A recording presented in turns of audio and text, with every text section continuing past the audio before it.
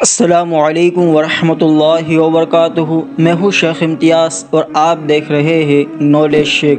ناظرین، ماہ محرم الحرام کا مہینہ شروع ہے اور ماہ محرم الحرام کی تین تاریخ ہے اور آج کے اس ویڈیو کے اندر ہم آپ کو آج کے دن کا ایک مجرب اور بہت ہی خاص اور روحانی عمل آپ کو بتانے والے ہیں اور یہ جو دعا ہے، یہ آپ کو ضرور کرنی چاہیے کیونکہ یہ اللہ تبارک و تعالیٰ کی پسندیدہ کلام ہے۔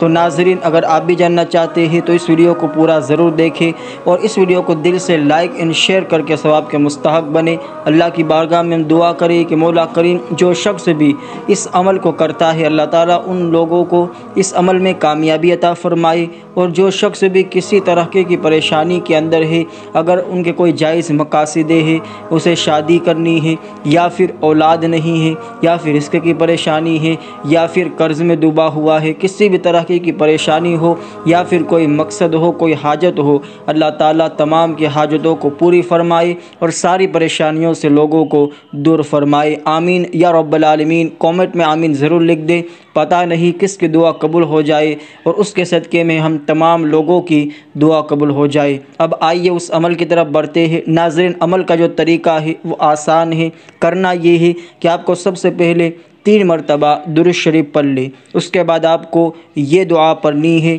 سبحان اللہ والحمد للہ ولا الہ الا اللہ واللہ اکبر۔